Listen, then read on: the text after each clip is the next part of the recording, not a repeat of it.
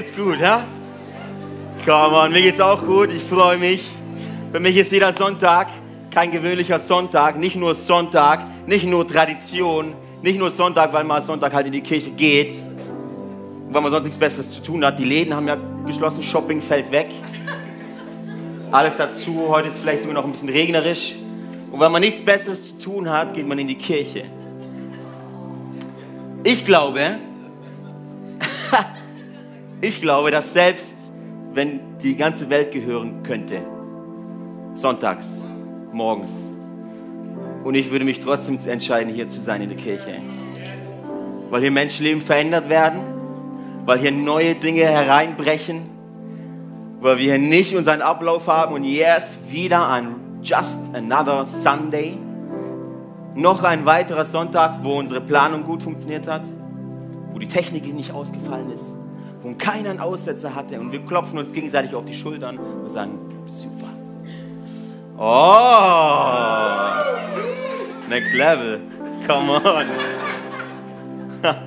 so schön. Hey, wir gehen wirklich dafür als Kirche, dass kein Sonntag so sein muss wie der vorige. Wir gehen wirklich dafür, dass, dass Gott neue Dinge tun darf bei uns. Ich weiß nicht, wie du heute Morgen hergekommen bist und dachtest, okay, sonntags gehe ich mal wieder in die Kirche. Ich war schon lange nicht mehr. Oder ich gehe wieder, weil ich es immer tue. Das sind die zwei Mindsets, die wir haben. Entweder ich gehe in die Kirche, weil ich schon lange nicht mehr gegangen bin. Oder ich gehe in die Kirche, weil ich es ja immer tue. Aber ich frage mich, ob heute Morgen nicht was anderes dran ist. Ich frage mich, ob heute Morgen nicht was Übernatürliches dran ist. Ob nicht was Neues dran ist, ein neues Level, ein Next Level. etwas Neues, was kein Auge je gesehen hat. Und lasst uns, ich möchte, ich möchte jetzt ein Gebet sprechen, dass, dass wir sind der Kirche, oder? Wir gehören Gott. Und dass wir Gott einladen, dass er heute machen darf, was er möchte. Okay? Jesus, ich danke dir, dass du souverän bist. Ich danke dir, dass du nicht irgendwie eine Legende bist oder irgendwie, was man halt macht oder irgendwas, irgendwas Totes, wo wir irgendwie nachjagen müssen und nicht wirklich wissen, ob du da bist oder nicht da bist. Wir danken dir, dass du, dass du kein Gott bist, der irgendwie entfernt irgendwo im Himmel auf dem Thron sitzt und uns richtest. Wir danken dir, dass du kein Gott bist, der zornig und der wütend auf uns ist. Wir danken dir, dass du ein Gott bist, der lebt wir danken dir, dass du heute da bist. Füllen diesen Raum jetzt mit deinem Heiligen Geist. Ich möchte alle Verantwortung abgeben. Heiliger Geist, es ist deine Church. Jesus, es ist deine Church. Es ist deine Kirche und es ist deine Celebration und es sind deine 30 Minuten. Jesus, verändere Leben hier. Jesus, verändere Leben, Jesus. Schenk uns eine Brille, durch durch die wir diese neue Realität sehen dürfen, Jesus. Denn wir wissen, für den, der glaubt, ist nichts unmöglich. Amen. Wenn ich hier schon Wasser stehen habe, dann trinke ich natürlich auch. Danke, lieber Benny, du bist eine absolute Maschine. Ich weiß nicht, wo du gerade steckst. Ah, da vorne. Applaus, Benny. So gut, so gut. Hey, wir sind ja gerade mitten in dieser, was heißt mitten, der zweite Sonntag in dieser neuen Serie, komm nicht mehr in die Kirche. Komm nicht mehr in die Kirche. Ich weiß nicht, du bist wahrscheinlich gespannt, was es damit auf sich hat, wenn wir jemanden ermutigen, nicht mehr zu kommen. Ähm, es, deshalb ist es sehr gut, dass du da bist. Ich glaube, die nächsten 30 Minuten und die äh, von letzter Woche vom David haben dir so einen kleinen Einblick gegeben, worum es uns geht. Es geht uns nicht darum, dass du nicht mehr kommst. Es geht uns eher darum, dass du anders kommst. Mit einem anderen Mindset, mit einer anderen Erwartung. Und darum geht es auch heute ein bisschen. Ähm, das Thema Predigtitel, wir sind ja immer ganz kreativ mit unseren Titeln. Und das Thema, mein Titel heute für diese Predigt heißt NXT LVL. NX, wer, wer weiß nicht, was das bedeutet?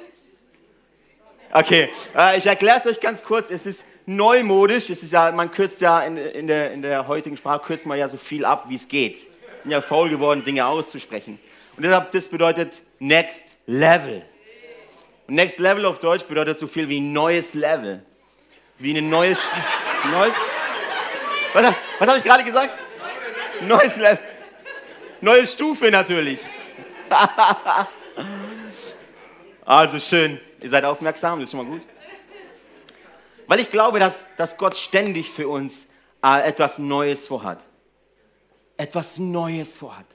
Unsere Erwartungen sprengen möchte.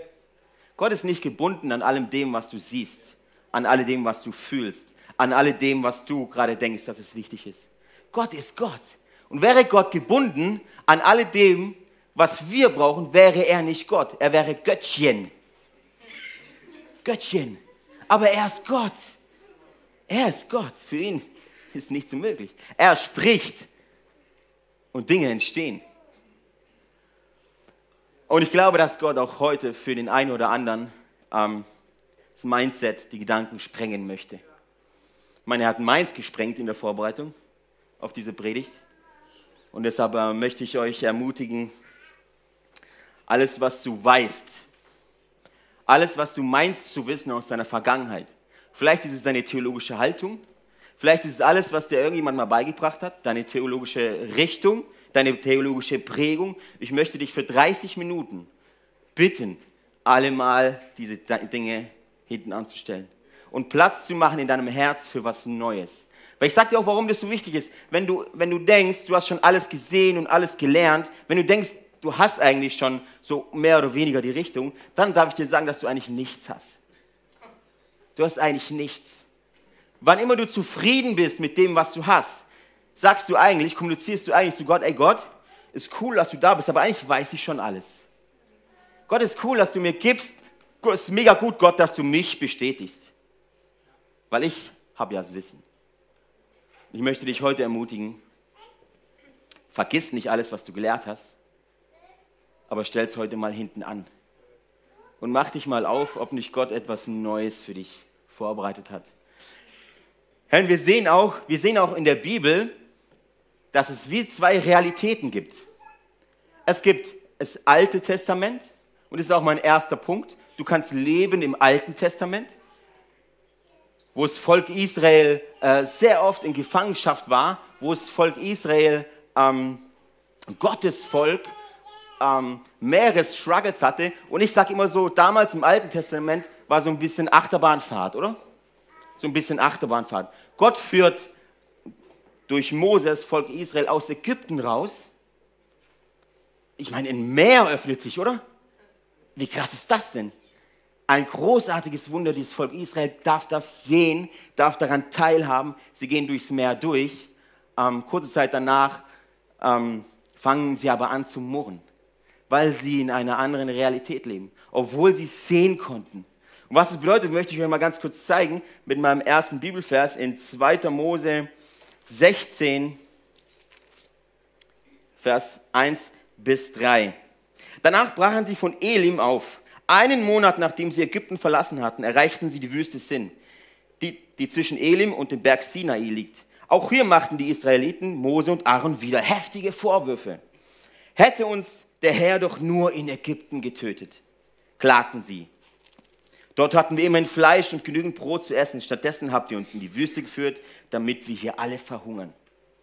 So das Volk Israel, obwohl sie diesen Gottes Wirken übernatürlich erlebt hatten, übernatürlich erlebt hatten, sagen jetzt doch wieder, eigentlich leben wir in der Realität, dass wir mit unseren eigenen Augen sehen müssen, dass wir unsere Ressourcen mit unseren eigenen Augen sehen müssen. Es ist dann so, okay, weil ich nicht habe, weil ich nicht habe, kann ich nicht glauben. Weil ich nicht habe, kann ich nicht glauben. Und es war im Alten Testament eigentlich ständig so, diese Achterbahnfahrt. Gott, Gott führt sie, kommt darauf an, wer, wer gerade König ist, oder? Und äh, er tat, was dem Herrn gefiel, steht ganz oft in der Bibel, wenn ein neuer König kam. Und dann geht es bergauf. Gott ist da, Gott schenkt ihnen Siege, Gott schenkt ihnen äh, genug, genug Ressourcen. Dann tun sie aber, was dem Herrn nicht gefiel, und Gott entfernt sich wieder und alles geht wieder runter und sie werden versklavt.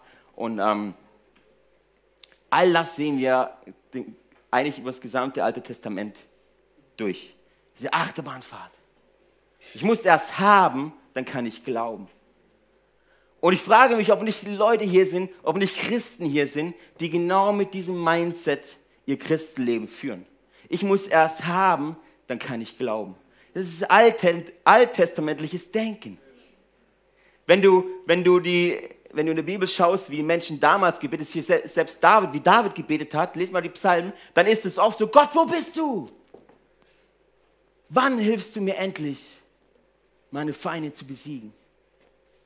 Und dann am Ende von dem Psalm ist dann meistens doch schon, schon, so, schon so, dass er sagt, und doch vertraue ich auf dich.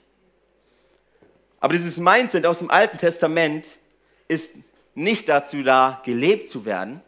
Das Alte Testament ist nicht dazu da, dass du darin lebst, sondern vielmehr, dass du daraus lernst. Dass du daraus lernst, wie du, warum du Jesus brauchst, warum du Gott brauchst. Das Neue Testament ist dazu da, dass wir darin leben, oder? Ähm, wir sehen also, dass wir wie zwei Realitäten haben, oder? Die eine Realität, das ist ganz oft dieses Natürliche, unsere Sinne, alles, was ich mit meinen Augen sehe, alles, was ich riechen, was ich schmecken kann, was ich fühlen kann, was ich hören kann, alles das halte ich für real. Alles das ist für mich real. Wenn ich also auf mein Bankkonto schaue und das ist ein dickes, großes Minus davor, dann sagt es meinem Gehirn, du hast ein Problem. Du hast ein Problem. Genauso ist, wenn du wenn du irgendein andere Problem, nimm ein anderes Problem, äh, ähm, sagt es dir, dein, deinem Ich, hey, du hast ein Problem. Du hast nicht genug. Du hast nicht genug Glauben, du hast nicht genug Ressourcen, du hast nicht genug, um etwas zu tun, um voranzukommen. Aber ich darf dir, darf ich dir was sagen, das ist alttestamentliches Denken. Das Volk Israel lebte wie mit einer Art Begrenzung. Man sieht schon, dass Gott äh, ähm, temporär immer wieder, mal wieder seinen Geist gegeben hat für äh, besondere Kriege, um, um äh, ähm, zu siegen, besonderen Schlachten oder zum Beispiel um die Stiftshütte zu bauen, schenkt er seinen Geist wohl. Genau. Ähm, aber immer nur temporär. Immer nur für eine kurze Zeit. Immer nur begrenzt. Immer nur sehr kurz. Und dann kommt Jesaja. Wer kennt Jesaja? Come on, Jesaja. Ähm, und Jesaja sagt, Gott schafft etwas Neues. Gott schafft etwas Neues. Und das möchten wir mal kurz, ähm, ein überragender Vers in Jesaja 43, Vers 18 und 19. Ähm, Gott schafft etwas Neues. Da sagte Gott, Denkt nicht mehr daran, was war und grübelt nicht mehr über das Vergangene. Seht hin. Seht hin, ich mache etwas Neues. Schon keimt es auf. Seht ihr es nicht? Villingen? Seht ihr es nicht, Villingen? Deutschland? Ich bahne einen Weg durch die Wüste und lasse Flüsse in der Einöde entstehen. Was Jesaja hier macht, er prophezeit Jesus. Er sagt, hey, da kommt einer, der wird alles verändern. Der wird euer Mindset sprengen. Der wird alles verändern, was ihr meint zu wissen, was ihr meint zu können, was ihr meint zu erle erlebt zu haben, was ihr meint tun zu müssen. Da kommt dann Jesus in der Welt, wird die Welt auf den Kopf stellen. Er schafft etwas völlig Neues. Was, warum es so wichtig ist, etwas, etwas Neues zu tun, weil alte Wege führen nicht zu neuen Türen. Alte Wege führen nicht zu neuen Türen. Wenn du hier bist und sagst, hey, im Worship, alle reden immer davon, dass Gott mich berührt und so, ich werde im Worship gar nicht berührt. Dann lade ich dich ein, versuche mal was Neues zu tun. Vielleicht ist diese Haltung im Worship nicht die richtige. Vielleicht sagst du, okay, wenn ich jetzt hier bin, muss Gott sich erstmal mir öffnen. Mein Freund, Versuch mal was Neues. Versuch mal den hier. Oder versuch mal den hier. Da sagst du, ey Gott, und ich bin so verzweifelt und ich bin nichts und ich brauche dich heute. Sprich zu mir. Wenn du noch nie im Worship geweint hast, im Gebet geweint hast, dann probier es mal aus. Lass mal alles raus. Lass mal alles raus. Alte Wege führen nicht zu neuen Türen. Wie bist du heute Morgen hergekommen? Mit welchem, mit welchem Mindset, mit welcher Erwartung? Um euch das ein bisschen zu verdeutlichen, habe ich ein Beispiel dabei. Zwar, ich weiß nicht, wer von euch, ups, wer von euch Tiptoy kennt. Ja, die, die Girlies, next level. Ähm, wir haben Tiptoy meiner Tochter Marlene zum, zum, zu Ostern geschenkt. Und Tiptoy, für alle, die es nicht äh, wissen, wie es funktioniert, du hast hier immer so Seiten drinne und einen äh, Stift, keine Ahnung, ein Stift. Und er sagt dir dann, was du tun musst. Da gibt es dann Rätsel oder Geschichten. Und eines Tages habe ich die Marlene gesehen, wie sie so vor diesem, vor diesem Bild hier steht, auf dem Bauernhof. Alles bunt, oder? Ziemlich viele Bilder drinne. Und ich sehe so die Marlene so am Tisch sitzen Und das Spiel, das sie gespielt hat, nannte sich Ich sehe was, was du nicht siehst. Und der Stift sagte dann so ungefähr so, ich sehe was, was du nicht siehst, das hat die Farbe rosa. Und sie instinktiv, ohne zu überlegen, bam, und es war richtig. Du musst mit diesem Stift dann den richtigen Punkt treffen. Von allen diesen Bildern. Und Marlene so instinktiv, okay, es ist das Euter von dieser Kuh. So ein ganz kleines Euterchen, rosa. Und ich dachte so, okay, und Marlene so, oder? Ich dachte, okay, er, kann Zufall sein, oder? Dann war es nächste, ich sehe was, was du nicht siehst, das ist, hat die Farbe braun. Und Marlene wieder, bam, und richtig. Ich so, ich habe ich hab ein Genie. habe ich wirklich so gedacht, oder? Oh, die ist ja, die ist ja, die ist ja hyperbegabt. Wie, wie, von allen diesen Bildern hier den richtigen Punkt zu treffen, und dann war es das dritte Mal, dass da wieder was war. Und sie hat wieder richtig. Ich dachte, ey, irgendwas stimmt hier nicht. Holy Spirit, bist du's? Irgendwas stimmt hier nicht. Ich sagte dann, Marlene, warum weißt du das denn? Ja, Papa, weißt du, ich habe das schon sehr oft gemacht.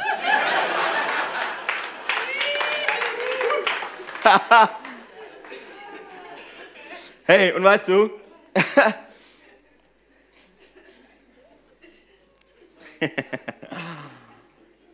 Es ist immer wieder so schön, wie die Kinder zu einem preachen, oder?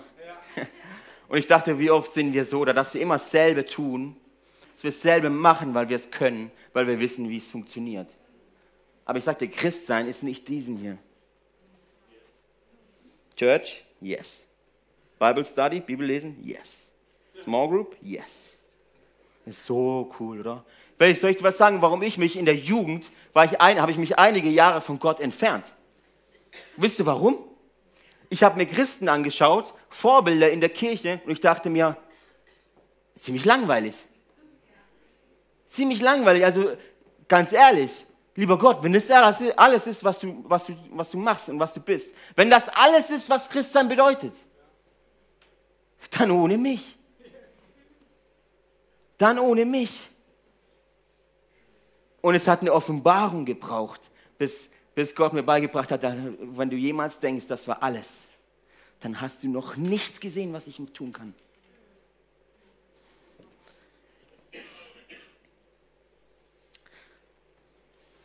Ich möchte dich heute einladen, das ist mir so krass auf dem Herzen. Vergiss mal alles, was war. Vergiss mal alles, was war. Ich glaube, Gott hat für dich ein Next Level vorbereitet, dass du darin leben kannst. Wir sehen, dass dann Jesus kommt, oder? Im Neuen Testament. Jesaja spricht davon, er macht etwas Neues. Jesus kommt im, Alten, im Neuen Testament und er macht wirklich alles neu. Er macht wirklich alles neu. Alles, was Jesus getan hat, hat das Mindset der Menschen gesprengt. Ja, wie kann Jesus am Sabbat einen Menschen heilen? Das geht nicht in meinen Kopf rein dachten die Menschen damals. Und Jesus kam und er hat alles neu gemacht. Er hat alles über Bord geschmissen, was die Leute meinten zu wissen. Die Leute damals meinten, es kommt der Messias und er wird für Freiheit sorgen, für politische Freiheit. Er wird die Römer verjagen. Jesus kam, um unsere Herzen zu befreien. Alles, was Jesus getan hat, war uns neu zu machen, um uns zu zeigen, dass nichts unmöglich ist. Und es gibt, und eins noch, Jesus kam auch, um uns beizubringen, dass unsere Ressourcen nicht mehr begrenzt sind, sondern dass sie unbegrenzt sind.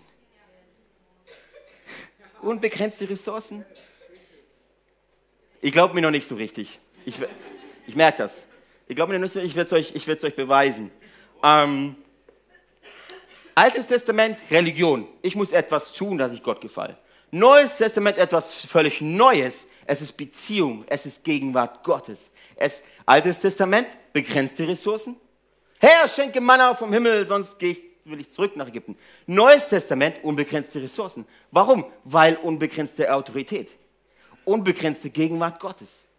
Unbegrenzter Heiliger Geist. Ein Heiliger Geist ist Gott in dir.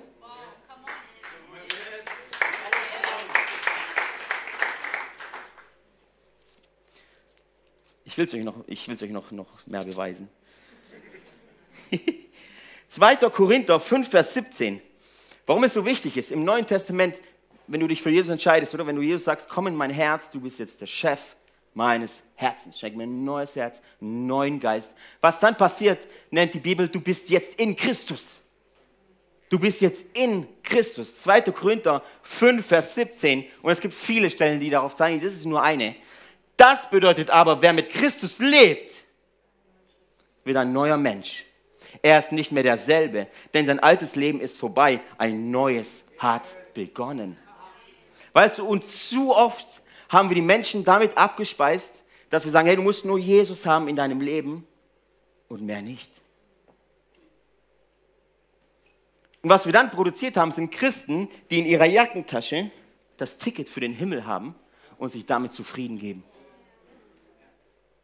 Was wir wieder brauchen, ist Menschen, die sich ausstrecken nach diesem Neuen. Nach diesem jeden Sonntag soll unser Mindset völlig gesprengt werden. oh, come on, ey. Gott schafft etwas Neues heute noch. Jeden Sonntag möchte er was Neues tun. Dazu müssen wir alte Routine durchbrechen. Wir müssen alte Routine durchbrechen. Yes. Schau dir dein, dein Leben an. Weißt du, Bibel zu lesen, macht dich nicht heilig. Aber die biblischen Prinzipien anzuwenden, das ist das, was die Welt verändern wird. Altes Testament, Begrenztheit. Neues Testament, legst du Menschen die Hand auf und betest für Heilung. Und du darfst erwarten, dass sie komplett gesund werden. Warum? Weil es Jesus getan hat. Das ist so leicht, oder? So simpel. Wenn du sehen möchtest, was Jesus gesehen hat, musst du tun, was Jesus getan hat.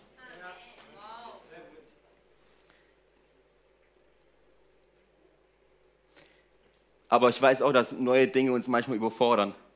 Ich meine, ich bin so vom Charakter her, ich stehe auf neue Sachen.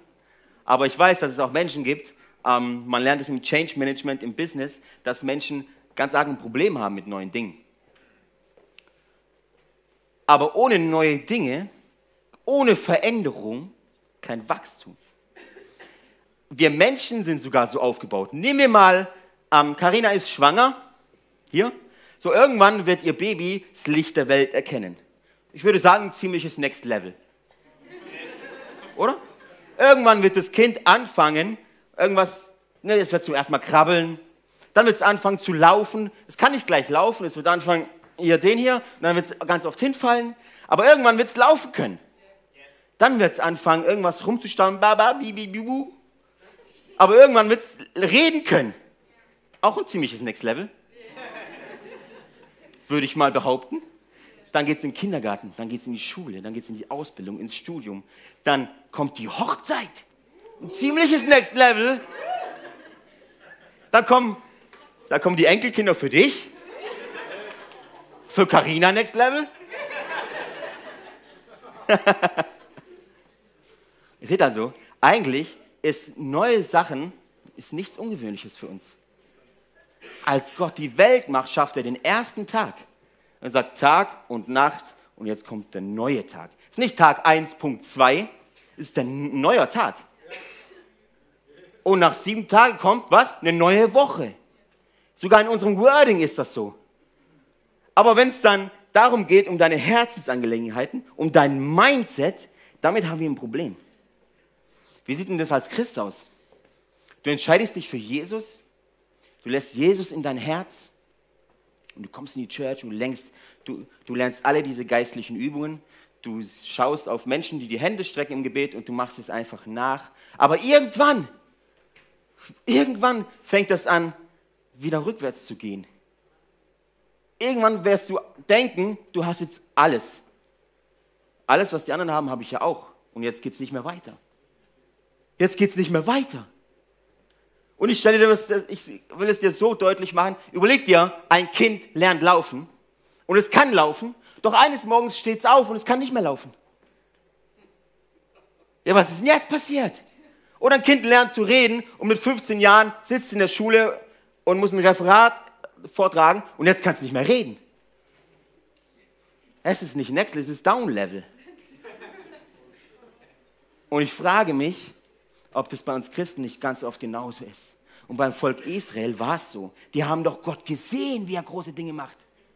In der Wüste, tags äh, war Gott da, nachts als Feuersäule. Wir haben gesehen, das ist Gott. Wenn du heute hier bist und du hast so ein, so ein Mindset, dass du schon alles gesehen hast und dass du alles erlebt hast und du weißt, wie man professioneller Christ ist, dann möchte ich dich heute ermutigen, lass dein Mindset sprengen. Lass dein Mindset sprengen. Hm. Ohne Veränderung kein Wachstum, oder? Seid ihr, mal, seid ihr einer Meinung? Ohne Veränderung kein Wachstum? Yes. yes. Wenn du laufen lernen musst, musst du dich aufmachen. Kannst du nicht die ganze Zeit krabbeln, du musst aufstehen und du musst versuchen. Und wenn du die ersten Male fällst, dann gibt es deine Mama und dann gibt es einen Papa, die helfen dir auf. Und wenn du es dann gelernt hast, dann kannst du es. Ich habe dir heute Morgen von einem Zeugnis erzählt, letzte Woche aus Singen. Und ich bin gespannt auf die Zeugnisse heute Morgen. Du hast also gesehen, Gott tut Wunder. Du hast gesehen, du hast gehört, Gott tut Wunder. Also vergiss es morgen auf der Arbeit nicht. Vergiss es im Lauf dieser Woche nicht. Oft sehen wir sonntags Wunder und am Montag stehen wir vor Problemen und sagen, oh, oh, oh, oh, oh, oh. Oh, oh, oh, oh, oh. Wisst ihr, Achterbahn, Altes Testament, steil nach oben, Neues Testament. Yes? Right straight to heaven.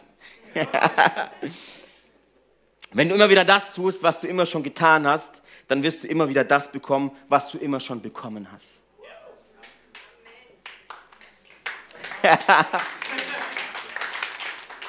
Wenn du immer schon geklatscht hast, nein, Spaß. Wenn du sonntags morgens hier reinkommst mit deinem Mindset und denkst, ich will jetzt was bekommen. Ich will jetzt was bekommen. Ich muss jetzt was kriegen von den Leuten da vorne. Und wehe, die sind nicht gut. Dann zeige ich mit dem Finger auf dich.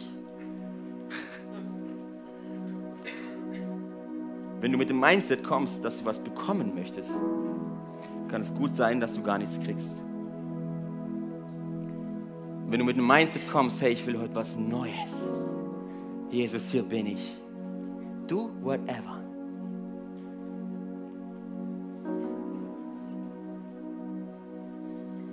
Wenn du Dinge sehen möchtest, die noch keiner gesehen hat, musst du auch Dinge tun, die noch keiner getan hat. Dinge tun, die noch keiner getan hat, ist meistens was Neues.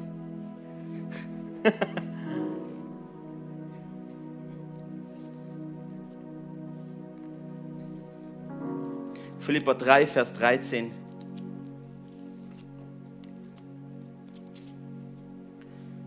Schreibt Paulus in der Gemeinde in Philippi. Nein, liebe Freunde, ich bin noch nicht alles, was ich sein sollte. Ich kann noch nicht laufen. Ich kann noch nicht sprechen. Aber ich setze meine ganze Kraft für dieses Ziel ein, indem ich die Vergangenheit vergesse und auf das schaue, was vor mir liegt. Wer ist heute hier und schaut auf das, was vor ihm liegt? Weil ich glaube, das Beste kommt noch. Und wenn du jemals denkst, wie gesagt, dass du schon alles gesehen hast, dass du schon alles gelernt hast und du jetzt weißt, wie man in die Kirche kommt und jetzt weißt, du weißt, wie man sich hier verhält, wie man sich hier anzieht, wie man hier spricht, dann möchte ich dich ermutigen, strecke dich nach was Neuem aus. Vielleicht will Gott durch dich was tun durch dich was tun, aber es geht erst, wenn du sagst, yes, ich will was Neues, was Neues rein. Ich komme zu meinem letzten Punkt. Lebe im Next Level. Lebe im Next Level. Die meisten Menschen leben auf ein Next Level hin. Ich weiß nicht, auf was wir warten, auf ein zweites Pfingsten. Die meisten Christen haben so das Mindset, ich warte auf irgendwas. Ja, auf was? Pfingsten war schon. Der Heilige Geist ist ausgegossen. Jesus am Kreuz sagt er, es ist vollbracht. Ja. Diese unbegrenzten Ressourcen, die sind greifbar. Es kommt nur auf dein Mindset an. Es kommt nur auf deine Gedanken an. Wie stellst du dir Gott vor? Du hast nicht. Deshalb glaubst du nicht. Vielleicht musst du erst glauben, dass du bekommst. Weißt du, es ist ganz oft so, dass im Next Level, im Neuen Testament zu leben, bedeutet, ich weiß, ich habe überhaupt im Moment keinen Glauben dafür. Und ich weiß auch nicht, wie Gott das tun soll. Aber ich gehe einen Schritt und dann kommt der Glaube. Und dann kommt der Glaube. Wisst ihr, dass, ihr dazu, dass wir dazu berufen sind, die Gegenwart Gottes in die Welt zu tragen? Nicht das Christentum, die Gegenwart Gottes weil sie greifbar ist für jeden. Und wenn du morgen früh einen Arzttermin hast und du gehst, gehst ins Wartezimmer rein und da sitzen vier, fünf Menschen, weißt du, was dann ist? Dann, hast, dann haben diese vier, fünf Menschen morgen früh die Chance, Gott zu erleben. Warum? Weil Gott in dir ist. Komm nicht mehr in die Kirche, vielmehr ist die Kirche in dich gekommen. Sprengt mein Mindset. Es sprengt meinen Kopf. Früher im Alten Testament hat, hatten sie die Stiftshütte und dann den Tempel, da wo Gott wohnte, oder? Da musstest du hingehen. Jetzt ist Gott gekommen in dich durch den Heiligen Geist, der in dir lebt. Und jeder, der Jesus angenommen hat, in sein Leben genommen hat, gesagt hat, yes, und mach mich ganz neu, der kann es erleben. Du stehst an der Einkaufs- ähm, im Edeka stehst du und es ist eine lange Schlange und du stehst da und du hast sieben bis acht Minuten so im Schnitt, wo du nichts tust, wo du nur wartest. Aber vielleicht hat Gott dir die Gelegenheit gegeben, in diesen sieben, acht Minuten, diesen Leuten, wo vor dir stehen, ein, ein Wort der Ermutigung zu geben. Pack nicht die Bibel aus und fang an zu preachen. Aber sag ihnen, ey, da gibt es einen Gott, der dich liebt. Was würde passieren, hätten wir alle dieses Mindset? Was würde passieren, wenn wir alle dieses Mindset hätten? Im Neuen Testament gab es zwölf Menschen, die dieses Mindset hatten. Die zwölf Apostel. Sie haben die Welt verändert, weil sie wussten, eigentlich haben wir nichts. Eigentlich haben wir nichts. Wir sind einfache Fischer. Aber sie wussten, dass es keine Rolle spielt, woher ich komme. Dass es aber eine Rolle spielt, wie mein Mindset ist unser Mindset, Mindset als Church, eines unserer tiefen Werte, ist nichts ist unmöglich. Doch oft komme ich hier rein und ich denke, es ist okay, nichts ist unmöglich. Eigentlich ist so fast nichts unmöglich. Beinahe nichts unmöglich. Was würde passieren, wenn wir das leben würden? Nicht nur hier, sondern in unseren Familien, beim Einkaufen, in unserem Alltag. Was würde passieren? Ich glaube, Villingen würde sich verändern. Ich glaube, Tuttlingen würde sich verändern. Ich glaube, Singen würde sich verändern. Der ganze Schwarzwald-Bodenseekreis würde sich verändern. Der würde sich verändern, würde neu werden.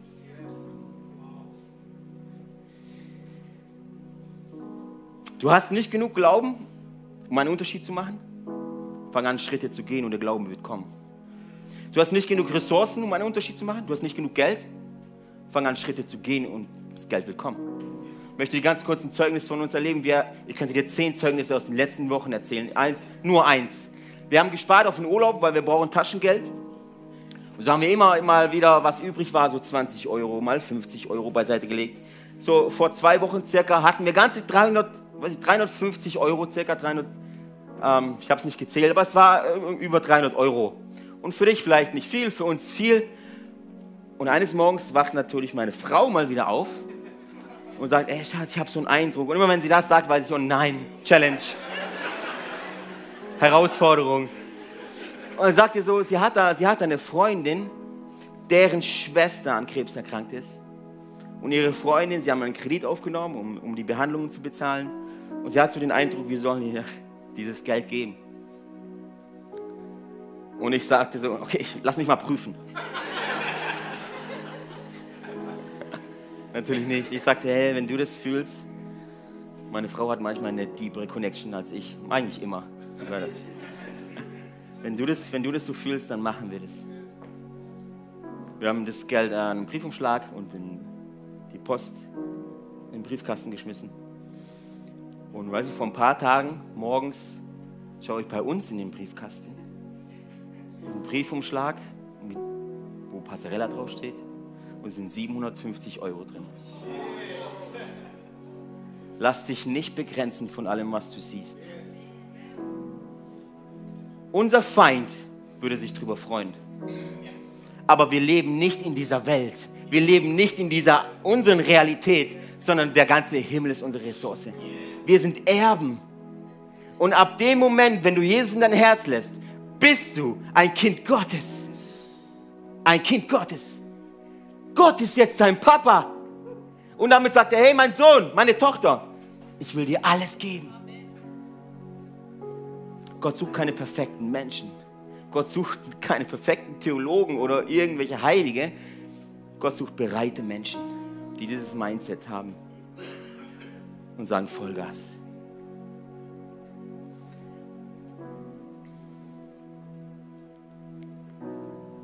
Die Band kann mal nach vorne kommen. Wir werden jetzt diese Predigt werden jetzt landen, oder? Herr, mir liegt es so auf dem Herzen, dass wir das verstehen. Vielleicht sitzt du jetzt auch hier und hast keine Ahnung, von was ich da geredet habe, jetzt 35 Minuten lang. Vielleicht sprengt es völlig dein, dein Glauben. Vielleicht sprengt es völlig allem, was du bisher gesehen hast. Aber lass dich ermutigen, es sprengt auch meins. Es sprengt auch meins. Und auch ich muss lernen, im Next Level zu leben. Auch ich muss es lernen. Und jedes Mal, wenn ich wieder auf mein Bankkonto gucke oder auf meine Probleme schaue, muss ich mir jedes Mal wieder sagen, hey, und ich lebe nicht im Alten Testament. Ich lebe nicht mit dieser Begrenztheit, sondern es ist unbegrenzte Ressourcen, unbegrenzte Gegenwart für uns. Du hast kein Glauben, es ist kein Problem. Fang an, einen Schritt zu gehen und der Glaube wird kommen.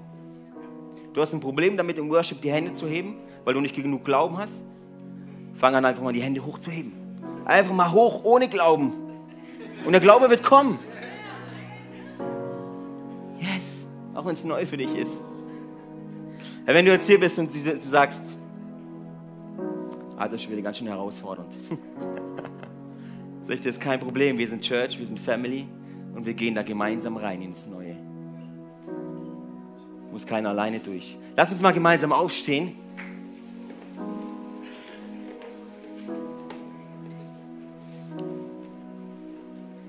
frage mich, ob heute Morgen jemand hier ist, der sagt, hey, diese, hm, dieser neue Mensch, das habe ich für mich gar, noch gar nicht in Anspruch genommen. Dieses Neue in Christus, das habe ich für mich noch gar nicht in Anspruch genommen. Das habe ich, dazu habe ich noch nie Ja gesagt. Und weißt du, du wirst da nicht reingeboren. Du kriegst keine passiv, passiv nicht irgendwie was mit. Du musst dich selber entscheiden, Jesus in dein Herz zu lassen.